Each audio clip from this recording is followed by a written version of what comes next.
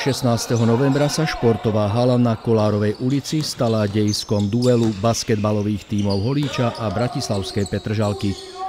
Oba celky súperili v prvom kvalifikačnom dvojzápase o účasť v slovenskom pohári. Súper z vyššej ligovej súťaže, hrá v zelených dresoch, si v úvodnej časti vytvoril 11-bodový rozdiel. Domáci sa však nenechali zaskočiť.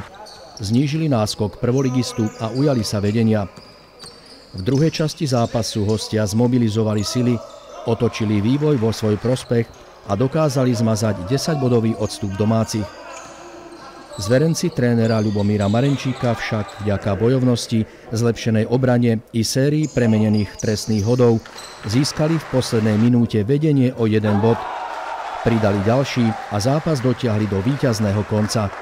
Holíč porazil Petržalku 82-80. Už vlastne niekoľko rokov sme nehrali takýto zápas s, e, o jednu ligu vyšším súperom. E, určite sme neočakávali takýto priebeh, ale sme rádi, že sme to zvládli, že sme vyhrali. Bude to znieť možno prekvapivo, ale myslím si, že sme mali lepšiu kondíciu. Na začiatku, na začiatku obidvoch polčasov išla Petržalka jasne do vedenia, boli rýchlejší, silnejší, potom ako keby im odišla para a stihli sme ich aj dobehnúť a vlastne aj sa dostať do vedenia. Sme sa do tejto súťaže Slovenského basketbalového zväzu prihlásili s tým, že chceme porovnať sily e, z druhej ligy s prvou, lig, prvou ligou. E, myslím si, že v súboji sme obstáli celkom obstojne a do odvety ideme s nádejou, že snáď sa nám podarí zopakovať uh, podobný výsledok. Myslím, že uh, chlapci odviedli 100% výkon a uh, dokázali sme si, že dokážeme hrať s každým súperom. Celok Holíča teraz čaká náročná odveta na horúcej pôde prvoligovej Petržalky.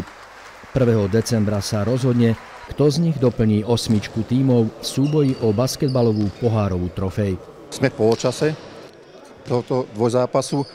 No a keď e, zopakujeme podobný výsledok, tak si myslím, že môžeme uspieť aj na palubovke súpera. Je to nastavené tak, že bude rozhodovať e, rozdiel skore.